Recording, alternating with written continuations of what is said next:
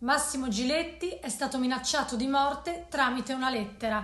È lo stesso presentatore a renderlo noto durante l'ultima diretta del suo programma Non è l'Arena. Parole durissime, quelle scritte in questa lettera, ma è chiaro il messaggio di Giletti. Io non ho paura.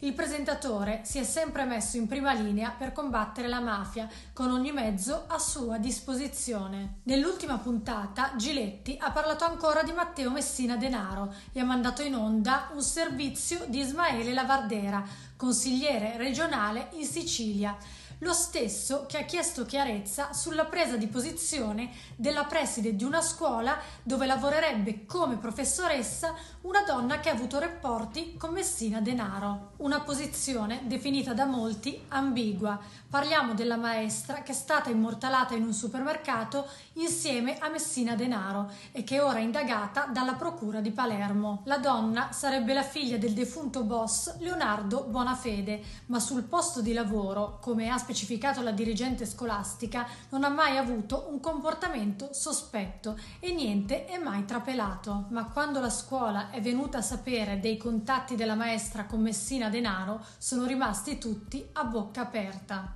Ma torniamo a Massimo Giletti. Lui, in diretta, dice di aver ricevuto una lettera con delle minacce vere. Giletti guarda fisso in camera e afferma lo dico a chi mi sta guardando, lo dico a chi me l'ha mandata.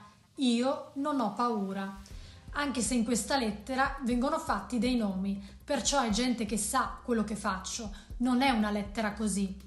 Ma io vado avanti, come fanno anche i miei. Insomma, anche questa volta Giletti ha dato prova di grande coraggio, un elemento che ha sempre contraddistinto la sua vita professionale.